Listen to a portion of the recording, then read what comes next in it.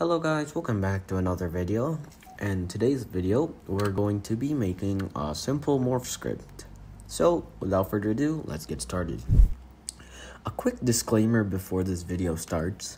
Um, this morph script isn't like the regular morph scripts where you would have just a bunch of accessories and you would need to align them to each humanoid part. Instead, this morph script works similar to the starter character functionality when you place a model named starter character in the starter player folder. Um, if you didn't understand it, don't worry. Um, all you're going to need before this video starts is a humanoid rigged up. So like the accessories already put on them and it's working. So let's get started. So for the sake of this video, um, I've already created my two rigged up humanoids here. Uh, we got our regular noob, which is just a regular sized character, and he has his sword and helmet. And we have our heavy noob here, and he's carrying some more items on him and a bigger sword. And he's slightly, slightly bigger than our regular noob. Now both of these characters already work, so let's get the starter noob and let's name him uh, starter character. And if we place him into starter player and starter game, as you can see, when we spawn in, which will be a moment here, um, we are the noob, and everything's rigged up. His helmet's wearing, uh, he's wearing his helmet, and he's got his sword on his waist. Anyways, we have our two rigs here. I'm just gonna use the two rigs here, and we can, uh, this wrong one. We can get started now. So what we need to do is we need to create uh, a script. But in this video I'm going to create a module script in server storage. Don't worry about that. You can still follow along even if you don't know how module scripts work or if you don't want to use a module script uh, it's all fine. But I'm going to create a function here. So we're going to say function module.morph and this function is going to take two parameters.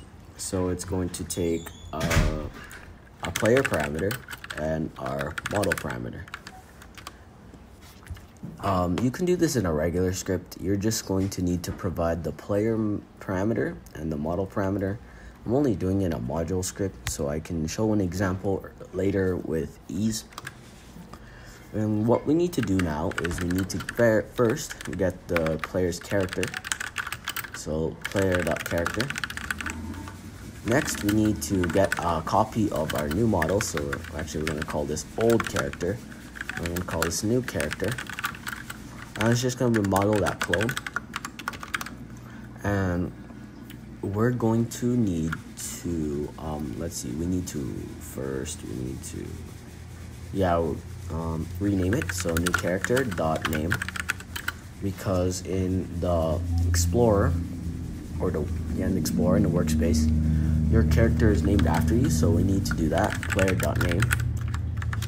And then we need to set the new character, so player.character equals new character. And we're also going to need our animate script. So our animate script is the script inside our character which handles our animations. So I might, I should have done this before I set the character. Actually, you could do it too. But we, what we need to do is we need to go fetch it. So, yeah, and you do this up here. Local animate script equals old character. It's called animate with a capital A. We're just gonna clone it, and we're just gonna put it in our new character. So when we get our new character, it's going to have animations because if we don't, it won't have animations. However, if you do already provide an animate script inside your character with custom animations, you can completely ignore this. So I'm just going to say option. Because if you want to make custom animations, which I won't explain how, you can provide your own animate script with your own animation IDs. But yeah, let's get back. We need to now, we need to do new character. and we're going to use the function or do it. Yeah, we're going to use the function set primary part C frame. And we're going to set it to old character and we're going to use the function get primary part C frame. What this is going to do is it's going to set our new character's position to exactly where our old character's position was. Then I forgot to set that our new character, not parent, needs to be placed in the workspace or else it won't appear and we can destroy our old character. And that's pretty much it. That is the entirety of this morph script. It's not long, it's pretty short. And now to our example, which I will do really quickly.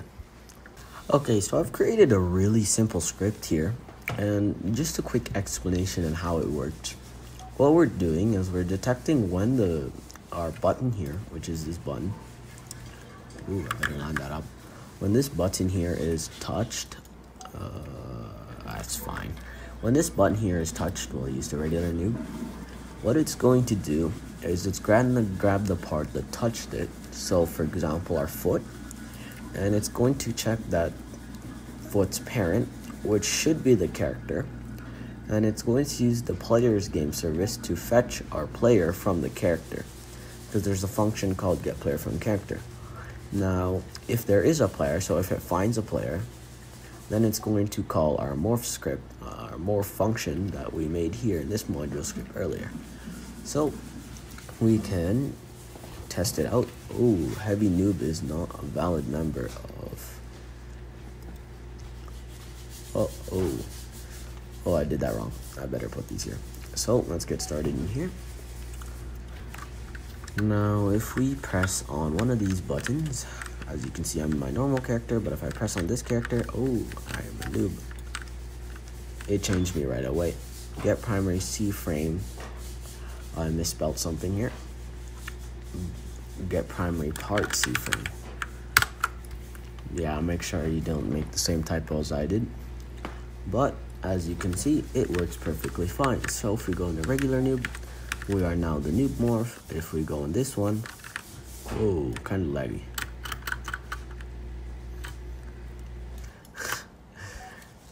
Forget, the, don't forget the debounce. I should have added a debounce, but as you can see, our morph here works, and we have our animations. Although I think I did anchor this yeah anyways there is a nice thing about what I have done here or the way I've made this morph script is you can actually customize the humanoids because it's custom so for example for our heavy noob here let's say we want to give him 120 HP but we want to make him walk slightly slower than the normal and for our regular noob here, we can set his HP to 100. And it's just going to be regular speed. And now, this would be really nice for like a class selection game. Um, if you have like different classes. Yeah, I still should have added that debounce. Now if we test this out, as we can see when we press this, we get our regular noob and he's walking normally fine and he has animations. But if we go into our heavy noob now, as you can see we do walk slightly slower. It's not really visible, but we are walking slower because, yeah. Anyways, that's it for this video. Uh, if you have any questions, feel free to ask in the comments or you can join our Discord server. I'll be happy to answer your questions. And otherwise, that's that. I hope you enjoyed this video. If you did, leave a like. It helps the algorithm. But that's it. So, I'll see you all later. Bye-bye.